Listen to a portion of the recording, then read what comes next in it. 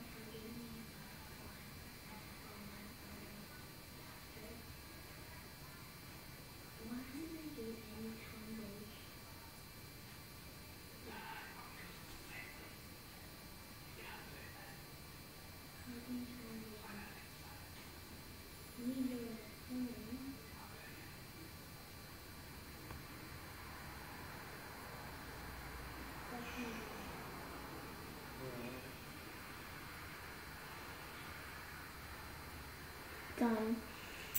Right, can you take off the hat and um, tell me a bit about it? Oh, this is a snowman. Oh, I was trying to be a snowman. Now, Georgie, would you like to um, pick up another piece of, of the plasticine and um, Purple. purple? Yep, and um, uh, and and do it while you and and look at what you're doing.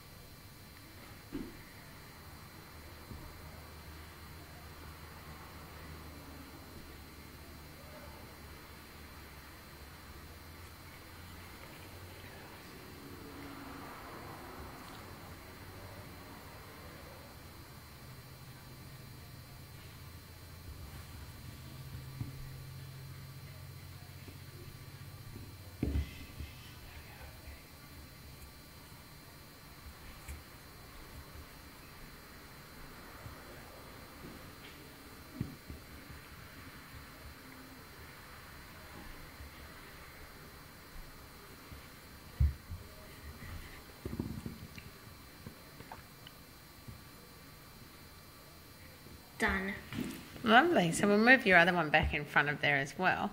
Um, can you tell me what the difference is between uh, was between when you were able to see what you were doing as opposed to when you were blindfolded? Well, one, you could see what you're doing. And you actually got to concentrate easier and harder When what? When you didn't have it. But when you had the hat on, it was a bit harder to concentrate because you didn't know what you were doing. And also, have a look at this one, the purple one. It's not as, it's different than this one. This one's got all cracks and wrinkles and everything in it. And they're not that even. But this one's good. Final reason why I think it was easier to do that one because you could choose what color you were using. You as I said before, you got to concentrate easier. Great. So actually knew what you were doing with your hands, physical, instead of just like that. You can actually go put it all together. Done. Thank you.